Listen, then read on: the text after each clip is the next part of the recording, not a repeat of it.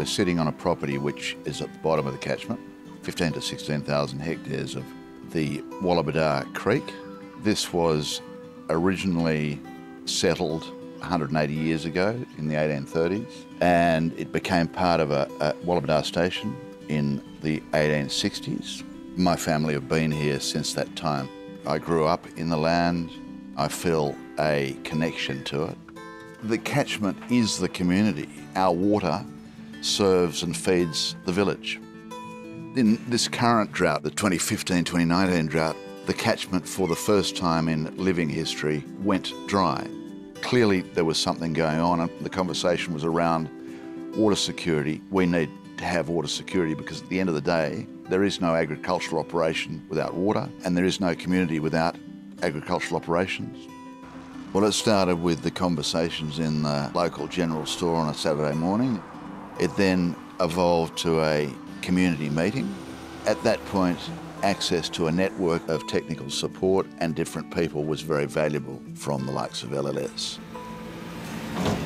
The Wallabadah Rehabilitation Project. It uh, involves a series of on-ground works. We've been able to source funding from Catchment Action New South Wales to implement some of these on-ground works throughout the catchment with a number of different landholders. Water Gully, which was the initiator of this project, is a discrete catchment to the side of Wallabadah Creek itself. The initial problem there was riverbed lowering, bed lowering occurring, uh, an incised channel coming up through the catchment, which is effectively draining the catchment. The local land service is a, is a fairly, it's fairly big family. We, we cover a, quite a range of activities from the management of feral animals through to animal health issues. We have the natural resource management side, which assists with projects like this. The first element of my involvement in the project was to uh, do an assessment of the area and, and Water Gully as a whole of system. I looked at historical information, including parish maps. The channel through Water Gully, we uh, understood from that, didn't exist 200 years ago. So we then decided we have to do something here because we want to go back, that we've lost the function in Water Gully.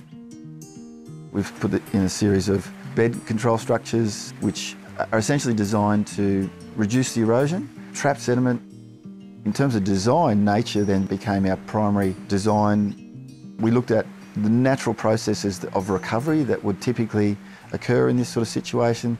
Trees may fall in, We've essentially created similar structures, logs. We've anchored them into the banks. We have put a geofabric into these to reduce the amount of water that goes through them and essentially create subsurface flow resistance as well as roughening the channel in such a way that it slows the water through the channel. We're creating stable conditions for the vegetation to then take effect and help the channel to recover back to a healthy floodplain with water. Having done those modest amount of works, we are seeing a very dramatic increase in the vegetation. We are storing more of that water in the landscape that would have otherwise been lost from the landscape. So we are rehydrating the landscape as, as we'd hoped. On the back of that success, we're looking at other parts of the catchment. I was born here and we've noticed over the last 20 or 30 years the creek really is lowering. We don't have water that we would normally have and we thought what can we do to have water in our creeks, have feed on our land and for our generations to come for them to have an easier time really. But it depends if everyone works together really if, if it'll work.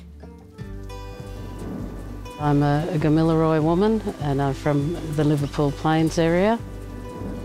We got involved um, probably a couple of years ago with some of George's ideas with looking at the aquifers and looking at the water in this area.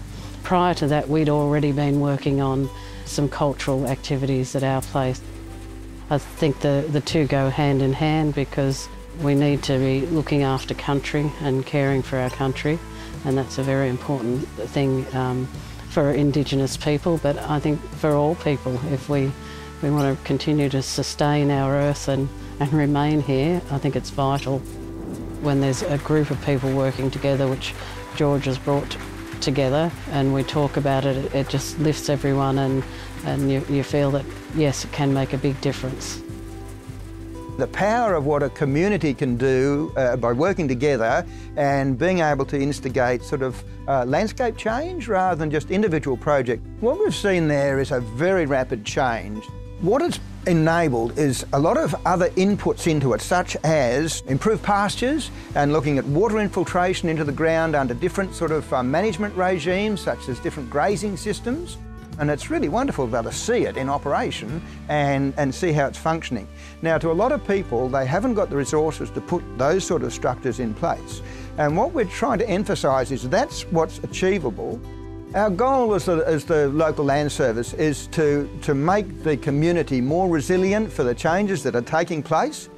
We have had some incredible results in streams and in pastures we're looking for a community consensus about the principles and the way we want to manage this country, which keep us productive. The major benefit of this for me is the re-establishment of a relationship with a broader community. This is about feeling the power of people working together to do something productive.